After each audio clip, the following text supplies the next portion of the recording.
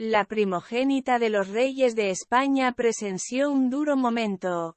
La princesa Leonor ha sido protagonista en el aniversario de la Academia General Militar de Zaragoza, donde se han cumplido 142 años desde su inauguración.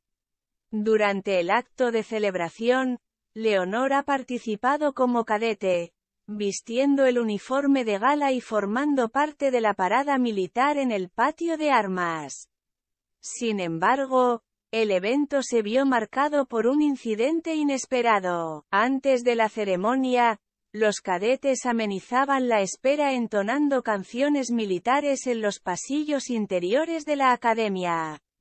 Sin embargo, las altas temperaturas provocaron que muchos de ellos se sintieran indispuestos y fueran retirados de la formación antes de tiempo, posiblemente debido al calor excesivo generado por los trajes históricos que lucían. Momento triste para la futura reina que vio como sus compañeros eran retirados de la fila en su día más importante. Aunque asistieron muchos padres de los cadetes, la hija mayor de Leticia y Felipe VI no contó con la presencia de sus progenitores, ya que el rey Felipe se encontraba cumpliendo compromisos como monarca en Bélgica y la reina Leticia presidiendo otro evento en Salamanca.